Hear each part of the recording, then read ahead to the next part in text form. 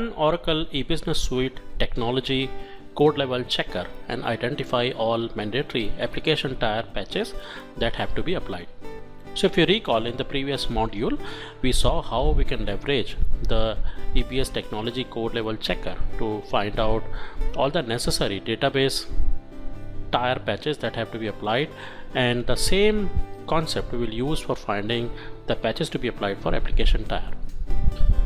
Now in the patch that we downloaded for ETCC, it had a zip file which contained two files in total.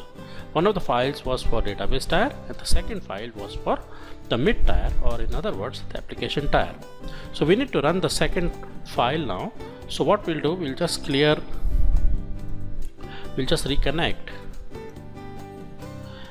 and we'll simply go to the directory where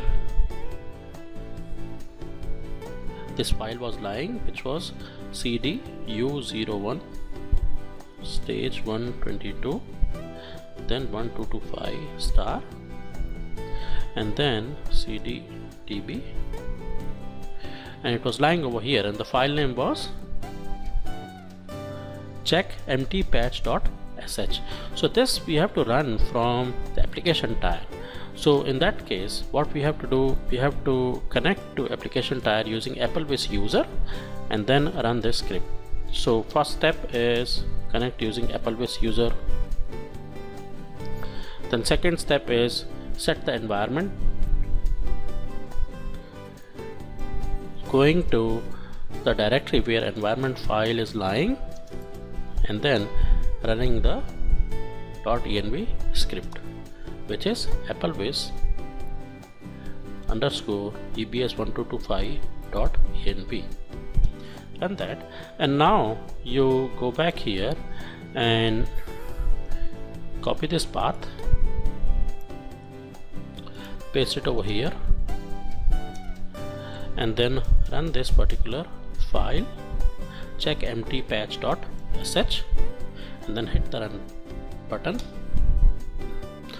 so upon enter now it's asking you for apps users password which is in our case is apps. Now it is examining all the products for forms and reports.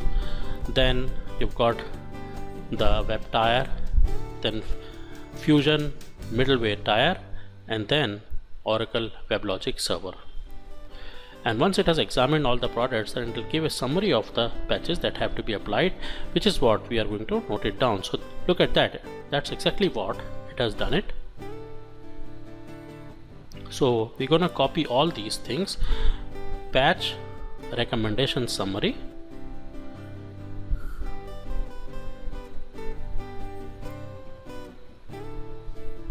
We'll copy this and then we'll paste it over here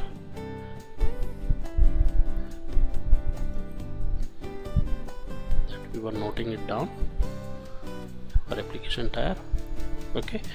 Now one by one we will go and we will download these patches and then start applying. So this is Oracle Forms and Reports that is also called as IAS and there is only one patch that have to be applied. But we will also refer to this particular note down. If you come to this particular note and if you scroll down it is also given the information based on the products you have 10 1 2 3 which is what we are on. And then we are on the start CD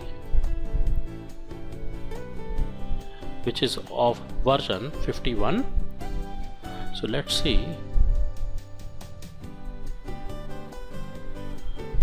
So there is no version 51 over here. So all we have to do is apply this patch which is what it is referring to okay so only one patch has to be applied likewise we have to check for all the products like this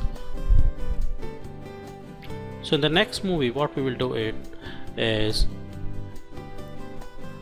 we will simply download this patch and apply it for the IAS or Oracle Forms and Reports server.